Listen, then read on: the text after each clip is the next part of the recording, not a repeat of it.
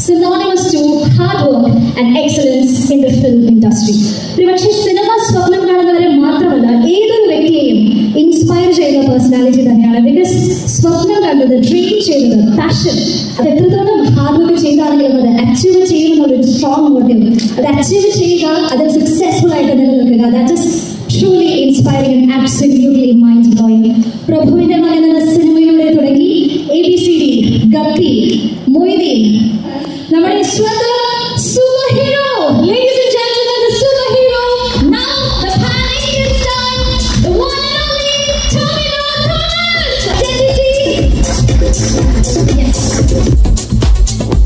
super hero ഇപ്പോൾ pan Indian star like I said we are all very proud മലയാള സിനിമയുടെ യശസ് ഇത്രത്തോളം ഉയർത്തി. എ ആർ എം എന്ന cinema like how should we express our gratitude for that നമ്മളെല്ലാവരും equally പ്രൗഡായൊരു cinema തന്നെയാണ്. Now here you are once again with identity we are very happy for you we are very very proud to see your success in the film industry so നമ്മുടെ super ഹീറോയ്ക്ക് mic കൊടുക്കട്ടെ? Hello എല്ലാവർക്കും നമസ്കാരം. പരിപാടിയുടെ length കുറച്ച് നീണ്ടുപോകുന്നതുകൊണ്ട് അല്ലേ? എന്നാലും എനിക്ക് ഒരു രണ്ടു വാക്ക് പറയണം എന്നുണ്ട് ഈ സിനിമ തീർച്ചയായിട്ടും സ്പെഷ്യലാണ് അഖിൽ ഒരു രണ്ടായിരത്തി ഇരുപത് മുതൽ ഒരു സ്ക്രിപ്റ്റ് ഉണ്ട്. ഞാനത് കംപ്ലീറ്റ് ചെയ്തിട്ട് വരാം എന്ന് പറഞ്ഞിട്ട് രണ്ടായിരത്തി ഇരുപത്തി രണ്ടിലാണ് എന്റെ അഖിൽ. അപ്പോൾ അഖിൽ ആ സമയം മുതൽ രണ്ടായിരത്തി ഇരുപത് മുതൽ വർക്ക് ചെയ്യുന്ന ഒരു സബ്ജക്റ്റാണിത് അപ്പോൾ ഇതൊരു സിനിമയായിട്ട് ഇപ്പോൾ റെഡിയാവുന്നു അടുത്ത മാസം ഇറങ്ങാൻ പോകുന്നു എന്നൊക്കെ പറയുമ്പോൾ ഭയങ്കരമായിട്ടുള്ള ഒരു എക്സൈറ്റ്മെന്റ് ഉണ്ട്. ഇതങ്ങനെ ഒരു എടുക്കാൻ അങ്ങനെ എളുപ്പമുള്ളൊരു സിനിമ ആയിരുന്നില്ല അത് ഡയറക്ടർക്കാണെങ്കിലും ഇതിൽ അഭിനയിക്കുന്ന ആക്ടേഴ്സിനാണെങ്കിലും കുറച്ച് നമുക്ക് നല്ല ഹെക്ടിക് ആയിരുന്നു. കുറച്ച് കുറച്ച് അധികം സെറ്റപ്സിൽ കുറച്ചധികം സീനുകൾ അങ്ങനെ നമുക്ക് കുറേ ഷൂട്ട് ചെയ്യാനുണ്ടായിരുന്നു. നമ്മൾ ഈ എടുത്ത നൂറ്റി മുപ്പത്തൊന്ന് ദിവസത്തിൽ ഒരു ദിവസം പോലും റിലാക്സ്ഡ് ഷൂട്ട് ഉണ്ടായതായിട്ട് എനിക്ക് ഓർമ്മയില്ല. എല്ലാ ദിവസവും അത്യാവശ്യം ഹെക്ടിക് ആയിട്ടുള്ള ഷൂട്ടും കാര്യങ്ങളൊക്കെ തന്നെയായിരുന്നു. അപ്പോൾ ഈ സിനിമയുടെ കാസ്റ്റിംഗ് ക്രൂ ഇതിനു വേണ്ടിയിട്ട് നല്ലപോലെ കഷ്ടപ്പെട്ടിട്ടുണ്ട്. പ്രത്യേകിച്ച് ഇതിന്റെ ഡയറക്ടറിന്റെ ഡയറക്ഷൻ ടീമാണെങ്കിലും ഇതിന്റെ ബാക്കി ഉള്ള ടെക്നീഷ്യൻസ് ആണെങ്കിലും ആർട്ടിലെ ആൾ ആർട്ടുകാർക്കാണ് ഇതിനകത്ത് ഏറ്റവും കൂടുതൽ പണിയുണ്ടായിരുന്നത് തോന്നുന്നു ആർട്ട് ഡിപ്പാർട്ട്മെന്റിലെ ആളുകൾക്ക് നമുക്ക് പല പല സെറ്റുകൾ ഉണ്ടായിരുന്നു. അത് അതൊക്കെ പല സമയത്ത് മാറ്റി വേറെ ആക്കണം അത് കഴിഞ്ഞ് തിരിച്ചിതുപോലെ തന്നെ ആക്കണം. ഇതിനിടയ്ക്ക് ഫൈറ്റ് സീക്വൻസ് നടക്കുന്നുണ്ടെങ്കിൽ സെറ്റ് പൊളിയും പിന്നെ ആ സെറ്റ് വീണ്ടും പണിയണം തുടങ്ങി.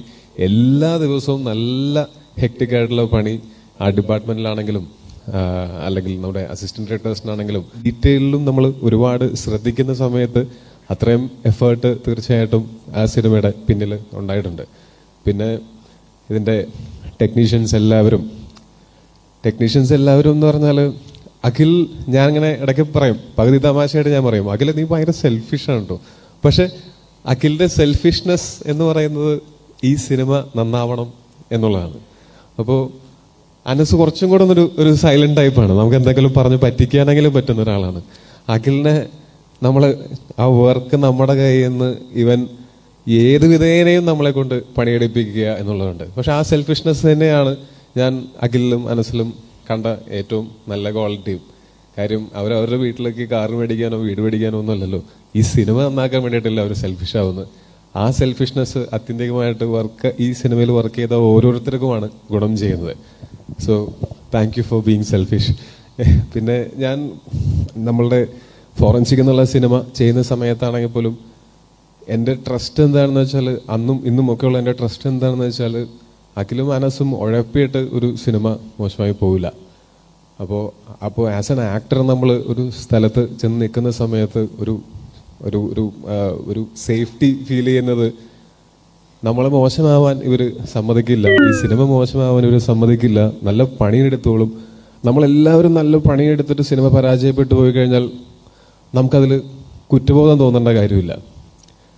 പക്ഷേ എന്റെ അനുഭവത്തിൽ നല്ല ആത്മാർത്ഥമായിട്ട് എല്ലാവരും പണിയെടുത്തിട്ടുള്ള എല്ലാ സിനിമകളും നല്ലപോലെ വർക്കായിട്ടുണ്ട് അതുകൊണ്ട് തന്നെ ഈ സിനിമയിൽ ഞാൻ അത് തന്നെയാണ് പ്രതീക്ഷിക്കുന്നത്. പിന്നെ ഇതിലെ പ്രൊഡ്യൂസേഴ്സ് ആദ്യം രാജശായനായിരുന്നു ഈ സിനിമയിലെ രാഗ മൂവീസിന്റെ ബാനറിലായിരുന്നു പിന്നീട് ഒരു ഘട്ടത്തിൽ Roy sir C J Roy sir നമ്മുടെ കോൺഫിഡന്റ് ഗ്രൂപ്പും കൂടെ ഇതിന്റെ ഭാഗമായി. ഈ സിനിമ ഞാൻ ഈ പറഞ്ഞ പോലെ നമ്മളെല്ലാവരും ഇത്രയും ടെക്നീഷ്യൻസും ആക്ടേഴ്സും ഒക്കെ ഇത്രയും പണിയെടുക്കുന്ന സമയത്ത് ഈ പണിയെടുക്കാനുള്ള സാഹചര്യം ഒരുക്കി തരിക എന്ന് പറയുന്നത് അത് പ്രൊഡ്യൂസർമാരാണ് ചെയ്തു തരുന്നത്. ഈ സിനിമയ്ക്ക് ഈ കഥയെയും ഇതിൽ വർക്ക് ചെയ്യുന്ന ഓരോരുത്തരെയും വിശ്വസിച്ചുകൊണ്ട് ഇത്രയും അത്യാവശ്യം ഒരു ബഡ്ജറ്റ് ഉള്ള ഒരു സിനിമയാണിത്. അത് നമ്മളെ വിശ്വസിച്ച് ഈ സിനിമയ്ക്ക് വേണ്ടിയിട്ട് ഇൻവെസ്റ്റ് ചെയ്ത് തുടങ്ങിയ രാജചായനും അതുപോലെ ഈ സിനിമ കണ്ട് ഈ സിനിമയിലും ഉള്ള ട്രസ്റ്റ് കൊണ്ടും പിന്നെ ഞങ്ങളോടൊക്കെ ഉള്ള സ്നേഹം കൊണ്ടും അത് ഇല്ലെന്ന് എനിക്ക് തോന്നുന്നില്ല. സ്നേഹം കൊണ്ടും കൂടിയാണ് ഇതിനെ സപ്പോർട്ട് ചെയ്യുന്ന റോയ് സാറിനും താങ്ക് യു സോ മച്ച് പിന്നെ ഈ സിനിമ തിയേറ്ററിലേക്ക് വരുമ്പോൾ നമുക്ക് നല്ല ഒരു ഡിസ്ട്രിബ്യൂഷൻ നെറ്റ്വർക്ക് തന്നെയാണ് ഒരു സിനിമയെ ആ സിനിമ എത്തേണ്ട എല്ലാ സ്ഥലങ്ങളിലേക്കും എത്തിക്കുന്നത്. അതിന് തീർച്ചയായിട്ടും ശ്രീ ഗോകുലം മൂവീസിനും അതുപോലെ ഡ്രീം ബിഗ് ഫിലിംസും ഇവർക്ക് നിങ്ങൾക്ക് ഓൾറെഡി എക്സ്പീരിയൻസ്ഡ് ആണ്. നിങ്ങൾക്കറിയാം എങ്ങനെയാണ് ഒരു സിനിമയെ കേരളത്തിനകത്തും കേരളത്തിന് പുറത്തേക്കും എങ്ങനെയാണ് എത്തിക്കേണ്ടതെന്ന്. സോ ഞങ്ങളും വളരെ സന്തോഷത്തിലാണ് ഇങ്ങനൊരു അസോസിയേഷനിൽ താങ്ക് യു സോ മച്ച് പിന്നെ ഇതിനകത്തുള്ള എന്റെ കോ ആക്ടേഴ്സ് ഇപ്പോൾ വിനയ് സാറിന്റെ കൂടെയും തൃഷ മാമിന്റെ കൂടെയും വർക്ക് ചെയ്യുന്ന സമയത്ത് ഞാൻ കോളേജിൽ പഠിക്കുമ്പോൾ തിയേറ്ററിൽ പോയിട്ട് ഇവരുടെയൊക്കെ സിനിമകൾ കുറേ കണ്ടിട്ടുള്ളതാണ്. എന്നെ കണ്ടാൽ ഏകദേശം അവരുടെ പ്രായമാണെന്ന് തോന്നുമെങ്കിലും ഞാൻ വളരെ യങ്ങാണ്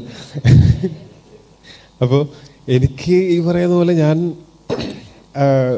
ഞാൻ തന്നെ ആലോചിക്കുകയാണ്. നമ്മളൊരു സിനിമയിൽ അഭിനയിക്കുന്ന സമയത്ത് ഞാൻ പണ്ട് സ്കൂളിൽ പഠിക്കുമ്പോഴും അല്ലെങ്കിൽ കോളേജിൽ പഠിക്കുമ്പോഴും സോറി സ്കൂളല്ല അത് ഭയങ്കര ഓറായിപ്പോൾ കോളേജിൽ പഠിക്കുമ്പോൾ സിനിമകൾ കണ്ടുകൊണ്ടിരുന്ന അവരുടെയൊക്കെ കൂടെ നമ്മൾ ഇപ്പോൾ വർക്ക് ചെയ്യുന്നു എന്ന് പറയുന്ന സമയത്ത് സിനിമ വന്നിട്ട് പന്ത്രണ്ട് വർഷമായെങ്കിലും ഇപ്പോഴും എനിക്ക് അങ്ങനെ ഞാൻ ഓരോ തവണ എന്നേക്കാളും സീനിയർ ആയിട്ടുള്ള ആൾക്കാരോട് വർക്ക് ചെയ്യുന്ന സമയത്ത് എനിക്ക് അത്രയും എക്സൈറ്റ്മെന്റ് ആണ്. ആ എക്സൈറ്റ്മെന്റ് തീർച്ചയായിട്ടും ഉണ്ടായിരുന്നു. പക്ഷേ ഇവർ ഭയങ്കര ഫ്രണ്ട്ലി ആയിരുന്നു.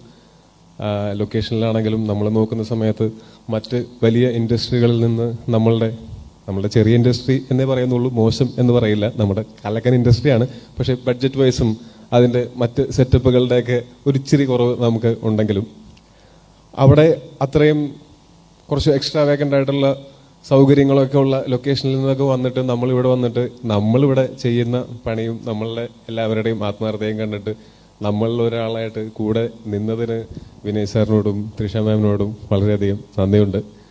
പ്രത്യേകിച്ച് വിനയ് സാറും ഞാനും ഈ സിനിമയുടെ ഇപ്പോൾ ഈ സിനിമ ഞങ്ങൾ ഫോറൻസിക് എന്നുള്ള സിനിമയുടെ കാസ്റ്റിംഗ് ക്രൂ കുറേ പേര് ഇതിനകത്തുമുണ്ട് അപ്പോൾ ഓൾറെഡി സുഹൃത്തുക്കളായിരുന്ന ആൾക്കാർക്ക് കൂടുതൽ സൗഹൃദങ്ങൾ ഉണ്ടാവാനായിട്ടും കൂടുതൽ ആ സൗഹൃദങ്ങൾക്ക് ആഴം കൂടാനായിട്ടും പിന്നെ പുതിയ ഇതുപോലുള്ള നല്ല സൗഹൃദങ്ങൾ ഉണ്ടാകാനായിട്ടും ഈ സിനിമ കാരണമായിട്ടുണ്ട്.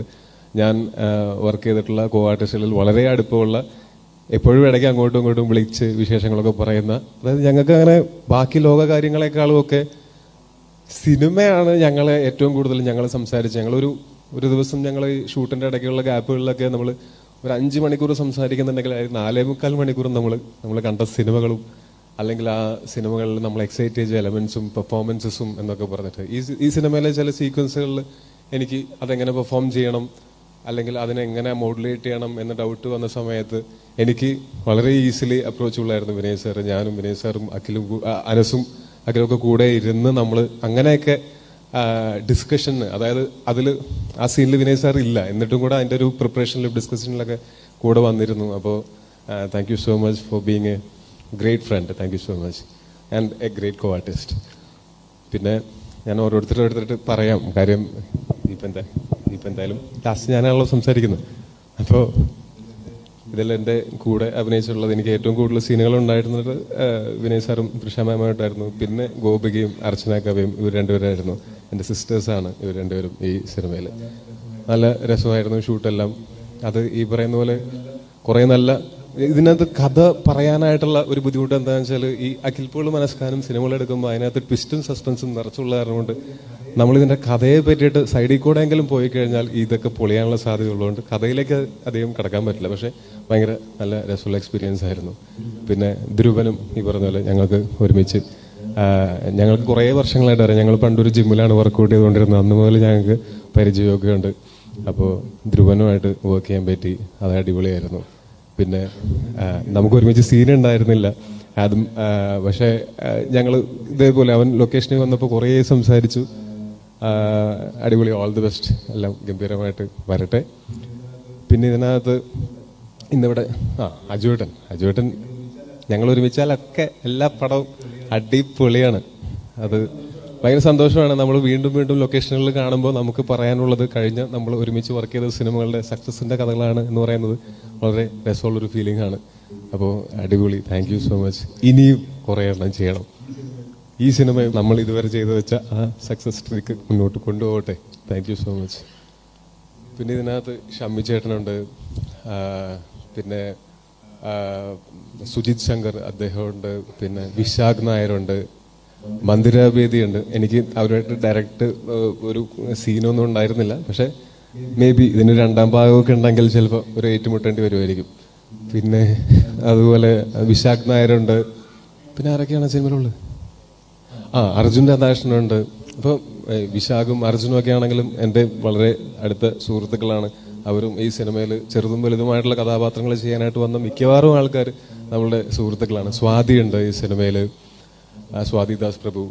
അങ്ങനെ ഈ- സിനിമ നമ്മൾ ഈ പറഞ്ഞ പോലെ ഭയങ്കര ഹെക്ടിക് ഷൂട്ടായിരുന്നു എന്നുണ്ടെങ്കിൽ പോലും അതേസമയം തന്നെ ഈ സിനിമയുടെ ഓരോ ദിവസവും ഞങ്ങൾ ഞങ്ങൾക്ക് ഞങ്ങൾക്ക് അതിന്റെ ഞങ്ങളുടെ ഈ പറഞ്ഞ ഞങ്ങൾ ഡിസേർവ് ചെയ്യുന്ന ഫണ്ടും കിട്ടിയിട്ടുണ്ട്. അതിപ്പോ ഒരു ദിവസം ഭയങ്കര ഹെക്ടിക് ഷൂട്ടാണെങ്കിൽ അത് കഴിഞ്ഞ് ഒരു പത്തിരുപത് മിനിറ്റ് എല്ലാവരും കൂടെ വട്ടോട്ടിരുന്ന് വർത്താനവും പറഞ്ഞ് തമാശയും പറഞ്ഞ് ഗുഡ് നൈറ്റും പറഞ്ഞിട്ട് നമ്മൾ പോവുള്ളായിരുന്നു അപ്പോൾ അതും വളരെ ഇമ്പോർട്ടന്റ് ആണ്. അതുകൊണ്ട് തന്നെ ഈ സിനിമയുടെ ലൊക്കേഷൻ ഒരിക്കലും അങ്ങനെ ഇത് ഭയങ്കര ബുദ്ധിമുട്ടായിരുന്നു ഈ സിനിമ ചെയ്യാൻ എന്നുള്ള കാരണം കൊണ്ട് നമുക്ക് മറക്കാൻ ആഗ്രഹിക്കുന്ന ഒറ്റ ദിവസം പോലും ഇല്ല. എല്ലാ ദിവസവും നല്ല വൃത്തിയായിട്ട് ഓർമ്മയുണ്ട്. അതെന്നും ഓർമ്മയിൽ ഉണ്ടാവുകയും ചെയ്യും. ഭയങ്കര രസമായിരുന്നു. ഇതിനകത്തുള്ള പ്രത്യേകിച്ച് ഇപ്പോൾ ഫോറൻസിക് പോലെ ഉള്ളതാണ് ബോബി. ബോബി ബോബിയാണ് ബാക്കി അന്യഭാഷയിൽ നിന്ന് വന്നിട്ടുള്ള ആൾക്കാരെ മലയാളം പഠിപ്പിക്കുന്നതിൽ പ്രധാനി. കൂടെ അനസും. അപ്പോൾ എല്ലാവർക്കും നല്ല കട്ടപ്പണിയായിരുന്നു. അതുപോലെ നമ്മളുടെ നിങ്ങളെന്താണ് എന്നെ കുറിച്ച് ഏട്ടെന്നൊക്കെ വിളിക്കണം മിസ്റ്റർ? ആ അനീസ്കരെ ഞാൻ അനീസ്കാന്ന് വിളിക്കുന്നു പുള്ളി തിരിച്ചിങ്ങോട്ട് ചേട്ടാന്ന് വിളിക്കുന്നു മത്സരമാണ് അങ്ങോട്ടും ഇങ്ങോട്ടും. ആരാണ് ചെറുപ്പം എന്നുള്ളത് ഞങ്ങൾ ലൂക്കയിൽ ഒരുമിച്ച് വർക്ക് ചെയ്തിരുന്നു. അപ്പോൾ ലൂക്കയിലെ ലൂക്ക ഭയങ്കരമായിട്ട് ഒരു ആർട്ടിസ്റ്റിക് ആയിട്ടുള്ള കുറേ കാര്യങ്ങളുള്ള ഒരു സിനിമ ആയതുകൊണ്ടും ഒരു ആർട്ടിസ്റ്റിന്റെ കഥ പറയുന്ന സിനിമ ആയതുകൊണ്ടും ഒരു ശരാശരി സിനിമയിലുള്ള ആർട്ട് ഡയറക്ഷനേക്കാൾ ഒരുപാടധികം വർക്കുള്ളൊരു സിനിമയായിരുന്നു അത് വളരെ വൃത്തിയായിട്ട് പുൾ ഓഫ് ചെയ്തു അന്ന്. അതിന് അത് അതുകൊണ്ടാണ് അല്ലാതെ ഞാൻ എവിടെയും പറഞ്ഞിട്ടൊന്നുമില്ല നിങ്ങളുടെ വർക്ക് തന്നെയാണ് നിങ്ങൾക്ക് വേണ്ടി സംസാരിച്ചുകൊണ്ടിരിക്കുന്നത്. അടിപൊളിയാവട്ടെ. ഓൾ ദി ബെസ്റ്റ് പിന്നെ ഗായത്രി നേരത്തെ പറഞ്ഞ പോലെ ഓരോരുത്തരുടെയും കോസ്റ്റ്യൂമിന് അത്രയും ഈ പറഞ്ഞാൽ ഈ- സീനുകൾക്കെല്ലാം ഇപ്പോൾ ഇതിന്റെ ഒരു ലുക്ക് ആൻഡ് ഫീൽ നമ്മൾ നോക്കുന്ന സമയത്ത് ഇതിന്റെ കളർ പാലറ്റും എല്ലാം കൃത്യമായിട്ട് അത് കോസ്റ്റ്യൂംസിലാണെങ്കിലും ആർട്ട് പ്രോപ്പർട്ടീസിലാണെങ്കിലും എല്ലാത്തിലും വന്നാലാണ് നമ്മൾ ആ കാണുന്നത്. നമുക്ക് ആ, കാഴ്ചയിൽ തന്നെ ഭയങ്കര ഇമ്പ്രസീവ് ആയിട്ടുള്ള ഒരു വിഷ്വൽ നമുക്ക് ഉണ്ടാവുന്നത്. അതിന് ഗായത്രി ഭയങ്കര എഫേർട്ട് എടുത്തിട്ടെന്ന് അറിയാം. താങ്ക് യു സോ മച്ച് പിന്നെ ഇതിനകത്ത് ഇന്ന് വരാത്ത രണ്ടാൾക്കാരുണ്ട്. എന്റെ വളരെ പ്രിയപ്പെട്ട രണ്ട് ആൾക്കാരാണ് അഖിൽ ജോർജും അതേപോലെ തന്നെ ചമൻ ചാക്കോവും. അഖിൽ എന്ന് പറഞ്ഞാൽ ഒറ്റ നോട്ടത്തിൽ ഭയങ്കര മടിയനാണെന്ന് തോന്നുന്ന ഒരു ബോഡി ലാംഗ്വേജും എന്നാൽ ഭയങ്കര കഠിനാധ്വാനിയാണ്. പക്ഷെ അത് അവൻ ഇപ്പോഴും അറിയില്ല. അവൻ ഇപ്പോഴും വിശ്വസിക്കുന്നത് അവനൊരു മടിയനാണെന്നും എന്നെ കൊണ്ടൊന്നും വയ്യ എന്നും പറഞ്ഞ അപ്പം തന്നെ തോളത്ത് ക്യാമറ എടുത്ത് വെച്ച് എല്ലാ കാട്ടിലും ഇവൻ അവനാണ് കള ചെയ്തത്. അപ്പം പിന്നെ അവൻ എത്രത്തോളം ഹാർഡ് വർക്കിംഗ് ആയിട്ടുള്ള ആളാണെന്ന് നമുക്ക് മനസ്സിലാക്കുള്ളൂ. പക്ഷെ അവനിപ്പോഴും അറിയില്ല. അവൻ അത്രയും ഹാർഡ് വർക്കിംഗ് ആയിട്ടുള്ള ആളാണെന്ന്. പക്ഷെ വളരെ അടുത്തൊരു സുഹൃത്തുമാണ് എന്റെ. ഞങ്ങളൊരു രണ്ടായിരത്തി പതിനൊന്നിൽ ഒരുമിച്ച് അവൻ ഡയറക്റ്റ് ചെയ്തൊരു ഷോർട്ട് ഫിലിമിൽ ഞാൻ അഭിനയിച്ചിട്ടുണ്ട്. അങ്ങനെ തുടങ്ങുന്ന ഒരു സൗഹൃദമാണ്. അവിടെ നിന്നാണ് പിന്നെ ഞങ്ങൾ ഫോറൻസിക് ചെയ്തു കള ചെയ്തു രണ്ടായിരത്തി പതിനെട്ട് ചെയ്തു ഇപ്പോൾ ഐഡന്റിറ്റി ചെയ്യുന്നു. അതുപോലെ ചമൻ ചമൻ ഫോറൻസിക് സിനിമ ചെയ്യുന്ന സമയത്ത് ചമൻ ഒരു സ്പോട്ട് ഇട്ടതായിരുന്നു അപ്പം അന്നേ ചമനെ എല്ലാവരും ശ്രദ്ധിക്കും. കാര്യം നല്ല സെൻസുള്ള ഒരു ചെറുപ്പക്കാരൻ എന്നുള്ള നമുക്ക് എല്ലാവർക്കും അറിയാം. അവനെ കുറേ കളിയാക്കുകയൊക്കെ ചെയ്യും നമ്മൾ പയ്യനായതായതുകൊണ്ട് ഇത് കഴിഞ്ഞ് നമുക്ക് കള എന്നുള്ള സിനിമ വന്നപ്പോഴത്തേക്കും കളയുടെ കളയിലൂടെ ചമൻ എഡിറ്ററായി ആ എഡിറ്ററായ ചമൻ പിന്നീട് ചെയ്ത സിനിമകൾ എന്ന് പറയുന്നത് ഇപ്പോൾ രണ്ടായിരത്തി പതിനെട്ട് ചെയ്തു. അല്ലെങ്കിൽ ഇപ്പോൾ ഞാൻ കഴിഞ്ഞ മാസം കഴിഞ്ഞ ആഴ്ച രണ്ടാഴ്ച മുമ്പ് ഞാൻ അവന് മെസ്സേജ് പറയായിരുന്നു. എങ്ങനെയുണ്ടാ ലൈഫ് ഇൻട്രസ്റ്റിംഗ് ആയില്ലേ? ഇപ്പൊ തിയേറ്ററിൽ ഓടുന്ന മുറ ഹലോ മമ്മി സൂക്ഷ്മദർശിനി എല്ലാത്തിന്റെ എഡിറ്റർ നീയാണല്ലോ. ബാക്കിയുള്ള എഡിറ്റർമാർക്കൊക്കെ ഇവിടെ ജീവിക്കണ്ടേ എന്ന് ചോദിക്കുന്ന രീതിയിൽ അവനാണെങ്കിലും ഈ പറഞ്ഞ പോലെ വരുംകാലങ്ങളിൽ വരും കാലങ്ങളിൽ ഇതിനേക്കാളും വലിയ വലിയ ഉയരങ്ങളിലേക്ക് എത്താൻ സാധ്യതയുള്ള കഴിവുള്ള ഒരാളാണ്. അപ്പോൾ വളരെ സന്തോഷമുണ്ട് അവൻ തിരക്കുള്ള ഒരു എഡിറ്ററായി മാറി എന്ന് പറയുന്നതിൽ. ആ വളർച്ച കാണാൻ സാധിച്ചാലും സന്തോഷമുണ്ട്. പിന്നെ ആ സെറ്റിൽ പറയപ്പെടുന്ന സുശാന്ത് അങ്ങനെ നമ്മളുടെ കുറേ ജാൻ നമ്മുടെ സ്റ്റിൽ ഫോട്ടോഗ്രാഫർ നമ്മൾ ആദ്യം വൈറസിലാണ് ഒരുമിച്ച് വർക്ക് ചെയ്യുന്നത്. അതുപോലെ മുമ്പ് വർക്ക് ചെയ്തിട്ടുള്ളവരുമായിട്ടുള്ള ഇതിപ്പോൾ ഞാൻ ഇവിടെ ഇരിക്കുന്ന ആൾക്കാരെയും നിങ്ങൾക്ക് പറഞ്ഞാൽ അറിയാൻ സാധ്യതയുള്ള ആൾക്കാരെയും പറ്റിയാണ് ഞാൻ കൂടുതൽ പറയുന്നത്. പക്ഷെ അതല്ലാതെ ഞാൻ ഇപ്പോൾ ഈ അൻപത് സിനിമ എന്റെ അൻപത്തി ഒന്നാമത്തെ സിനിമയാണിത്. ഇത്തരം സിനിമകളിൽ വർക്ക് ചെയ്തിട്ടുള്ള നമ്മളുടെ പ്രൊഡക്ഷനിലെ ചേട്ടന്മാരും ലൈറ്റിലെ ചേട്ടന്മാരും ക്രെയിനിലെ ചേട്ടന്മാരും തുടങ്ങി മേക്കപ്പിലെ റോണക് ചേട്ടൻ ഞാൻ ഏറ്റവും കൂടുതൽ സിനിമ ഒരുമിച്ച് വർക്ക് ചെയ്തിട്ടുള്ള മേക്കപ്പ് മാൻ അത് റോണക് സേവിയറാണ്. അദ്ദേഹവും അദ്ദേഹത്തിന്റെ കൂടെയുള്ള ആൾക്കാരും. തുടങ്ങി എനിക്ക് പരിചിതമായിട്ടുള്ള മുഖങ്ങളായിരുന്നു അവിടെ ഏറ്റവും കൂടുതലുണ്ടായിരുന്നത്. നമ്മൾ ഇത്രയും നൂറ് ദിവസത്തോളം ഇവരെല്ലാവരെയും കാണുകയും ഇവരുടെയൊക്കെ ഒപ്പം സമയം സ്പെൻഡ് ചെയ്യുകയും ചെയ്യുന്ന സമയത്ത് പലപ്പോഴും ഞാൻ എന്റെ വീട്ടുകാരെക്കാളും കൂടുതൽ സമയം സ്പെൻഡ് ചെയ്യുന്നത് ലൊക്കേഷനിൽ നിങ്ങളുടെയൊക്കെ ഒപ്പമാണ്. അത് ഓരോ ദിവസവും വളരെ നല്ല എക്സ്പീരിയൻസസ് തരുന്നതിന് എല്ലാവർക്കും ഒരുപാട് നന്ദി സ്നേഹം. പിന്നെ ഇതിനകത്തുള്ള ആക്ഷൻ ഡയറക്ടേഴ്സ് ഇതിനകത്തുള്ള ഒരു ഫൈറ്റ് സീക്വൻസ് ചെയ്തിരിക്കുന്നത് യാനിക് ബെൻ എന്ന് പറയുന്ന ഫൈറ്റ് മാസ്റ്ററാണ്. പുള്ളി ഫ്രഞ്ചാണ് ശരിക്കും പക്ഷേ ഹോങ്കോങ്ങിൽ സെറ്റിൽഡ് ആയിട്ടുള്ള ആളാണ്. പുള്ളി ഇവിടെ വർഷങ്ങളായിട്ട് ഇന്ത്യൻ സിനിമയിൽ വർക്ക് ചെയ്യുന്നുണ്ട്. അപ്പോൾ അദ്ദേഹവും അദ്ദേഹത്തിന്റെ ക്രൂ ഉണ്ടായിരുന്നു. അതും ഭയങ്കര നല്ല ഒരു എക്സ്പീരിയൻസ് ആയിരുന്നു. ഞാൻ എന്റെ ലിമിറ്റ്സിനെ കൂടുതൽ പുഷ് ചെയ്യാനായിട്ട് അവർ സഹായിച്ചിട്ടുണ്ട്. അതിന് വേണ്ടിയിട്ട് ട്രെയിനിങ്ങും കാര്യങ്ങളൊക്കെ ഉണ്ടായിരുന്നു. അത് ഭയങ്കര എന്താ പറയുക അതിന്റെ ഔട്ട്പുട്ട് കാണുന്ന സമയത്ത് നമ്മളാ എടുത്ത ഹാർഡ് വർക്ക് മുഴുവൻ അത് നമുക്ക് പേ ബാക്ക് കിട്ടും എന്ന് നമുക്ക് തോന്നുന്നു. അതിലൊരുപാട് സന്തോഷം. പിന്നെ ഫീനിക്സ് പ്രഭു അദ്ദേഹം ഇപ്പോൾ എ ആർ എം വരെയുള്ള ഇപ്പം ഞാനിപ്പോൾ ചെയ്തുകൊണ്ടിരിക്കുന്ന നരിവേട്ട എന്നുള്ള സിനിമ അല്ലെങ്കിൽ കാള പിന്നെ നമ്മുടെ ഐഡന്റിറ്റി അങ്ങനെ നിരവധി സിനിമകളിൽ ഒരുമിച്ച് വർക്ക് ചെയ്തിട്ടുള്ള ആക്ഷൻ കൊറിയോഗ്രാഫറാണ് അദ്ദേഹം. അദ്ദേഹവും ഗംഭീര വർക്കാണ് ഈ സിനിമയിൽ ചെയ്തിട്ടുള്ളത്.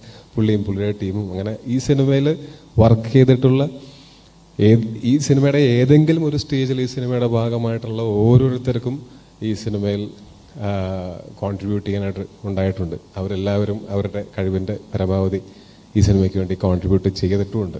അത് കാരണം കൊണ്ട് തീർച്ചയായിട്ടും അവരോട് എല്ലാവരോടുള്ളൊരു നന്ദി പറയാൻ വേണ്ടി ഞാൻ ഈ സമയം ഉപയോഗിക്കുന്നു. ഒപ്പം ഇന്നിവിടെ വരികയും ഇത്രയും സമയം നമ്മളുടെ കൂടെ ഈ ഒരു ടീസർ ലോഞ്ച് ചടങ്ങിന്റെ ഭാഗമായിട്ട് ഇവിടെ ഉണ്ടായ നിങ്ങൾക്ക് എല്ലാവർക്കും നന്ദി. എല്ലാവർക്കും നല്ലത് മാത്രം വരട്ടെ. എല്ലാവർക്കും സന്തോഷവും സമാധാനവും സംതൃപ്തിയും എപ്പോഴും ഉണ്ടാവട്ടെ എന്ന് ആശംസിക്കുന്നു. ഒപ്പം തീർച്ചയായിട്ടും നിങ്ങളാണ് ഈ ഞങ്ങളുടെ സിനിമ ഇങ്ങനെ ഇന്ന ദിവസം ഇതിന്റെ ടീച്ചർ വരുന്നു അല്ലെങ്കിൽ ഇന്ന ദിവസം ഇറങ്ങുന്നു എന്നൊക്കെ ഉള്ളത് ആളുകളെ അറിയിക്കുന്നത് തീർച്ചയായിട്ടും മീഡിയയാണ്. അപ്പോൾ thank you so much for being here ഇനി നിങ്ങളത് പരമാവധി പരത്തേക്കോ ഇങ്ങനെ ഒരു സിനിമ വരുന്നുണ്ട്. ഗംഭീര പരിപാടിയാണ് എന്ന് നിങ്ങൾ ഒന്ന് പരത്തേക്കോ ആ വാർത്ത അത് ഒരു തെറ്റായ വാർത്തയായിരിക്കില്ല. കാര്യം പടം നല്ല പടമായിരിക്കും എന്ന് ഞങ്ങൾക്ക് ഏകദേശം ഒരു ഉറപ്പുണ്ട്. പക്ഷേ അത് ഞങ്ങളല്ല തീരുമാനിക്കേണ്ടത്. സിനിമ കണ്ട് ഇഷ്ടപ്പെടുന്ന പ്രേക്ഷകർ